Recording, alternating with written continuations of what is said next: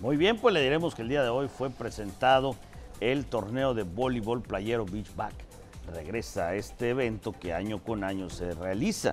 Eh, va a ser el sábado 10 y domingo 11 en el malecón del puerto de Progreso.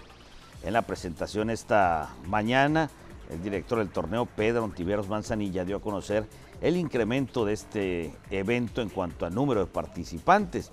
Hay 150 parejas de varios estados de, la República, principalmente del sureste.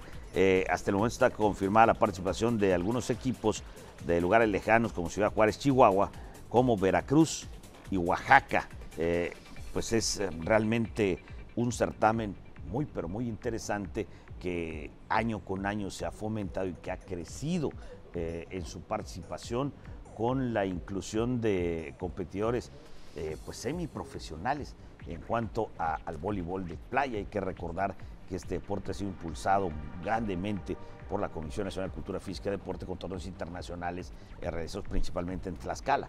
Vámonos con las entrevistas de los patrocinadores y los organizadores de este evento.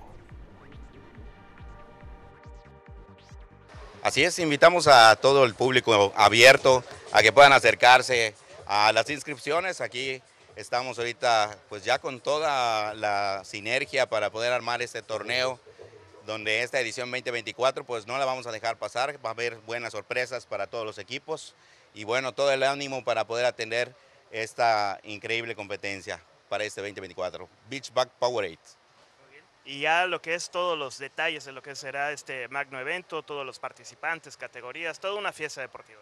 Sí, definitivamente sí estamos trabajando muy fuerte. Tenemos casi más de dos meses estar con esta pláticas y reuniones de ver cómo se va a cabo el evento, bajo qué normas, bajo qué situación se nos pide que se lleve a cabo y cuidando siempre también el aspecto de la participación de la gente. Va a haber un, área que eh, va a haber rehabilitación de unos jóvenes maristas que se ofrecen a apoyarnos, que es una cosa excelente también por cualquier lesión de un jugador.